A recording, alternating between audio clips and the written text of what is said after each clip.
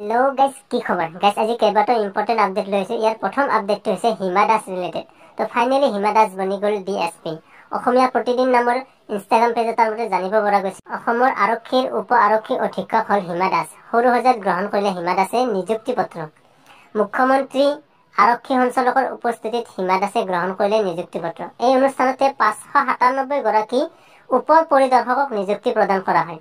ক্ৰীড়া নীতি দুহেজাৰ সোতৰ ওঠৰ ভিত্তিত হিমা দাসক ডি এছ পি ৰূপে নিযুক্তি নিযুক্তি লাভ কৰি উৎফুল্লিত হিমা দাস। মুখ্যমন্ত্ৰী আৰু হিমন্ত বিশ্ব শৰ্মাক ধন্যবাদ জ্ঞাপন হিমা দাসৰ। আৰক্ষীৰ পোচাক পিন্ধি হিমা দাসে গ্ৰহণ কৰিলে নিযুক্তি পত্ৰ। তো নিউজটো পাই খুবেই ভাল লাগিলে আৰু মোৰ ফালৰ পৰা বহুত বহুত শুভেচ্ছা থাকিলে।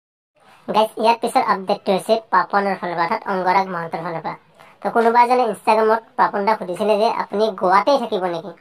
তো এইটোক লৈ অংগৰাগ মহন্ত অৰ্থাৎ পাপন দাই ৰিপ্লাই দিছে আহক আমি কি ৰিপ্লাই দিলে চাই লওঁ कौन ने पूछा है गोवा में ही रहने वाला है থকা তেনেকৈ প্লেনটো নাছিলেই আহিছিলোঁ থাকি গ'লোঁ গৈ থাকিল দিনবোৰ বহু মাহ হৈ গ'ল ভাল লাগিছে গাঁৱৰ পৰিৱেশ গাঁৱত আছোঁ এনেকৈ থাকিব মই বহুত দিন পোৱা নাছিলোঁ ক'তো গ্ৰামীণ জীৱন যাপন কৰিছোঁ খুব ভাল লাগিছে থাকি মটৰচাইকেল এখন আছে লৈ লৈ গুচি যাওঁ চাইকেল আছে গাঁৱৰ দূৰে দূৰে ভিতৰত ঘূৰি ফুৰোঁ বজাৰ পাতি কৰোঁ। ঘৰত যেনেকৈ গাঁৱত থাকিব পাৰি সেই পৰি সেই পৰি সেই পৰিৱেশৰ আনন্দ যিমান পাৰোঁ লৈছোঁ।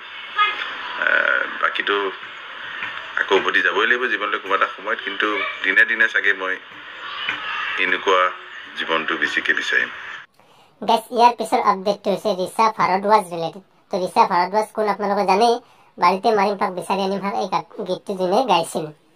তো ৰিচা ভাৰদ্বাজে ফাইনেলি এটা পুলিচ কেছ দিলে তো কিহৰ কাৰণে দিলে তাত তাক লৈ এটা পষ্ট দিছে আৰু আপোনালোকক পষ্টটো পঢ়াই লওঁ যোৱা ইংৰাজী চৈধ্য দুই দুহেজাৰ একৈছ তাৰিখৰ পৰা কোনো দুষ্ট চক্ৰই মোৰ ফটো বিকৃত কৰি বিভিন্ন সামাজিক মাধ্যমত প্ৰচাৰ কৰি আহিছে।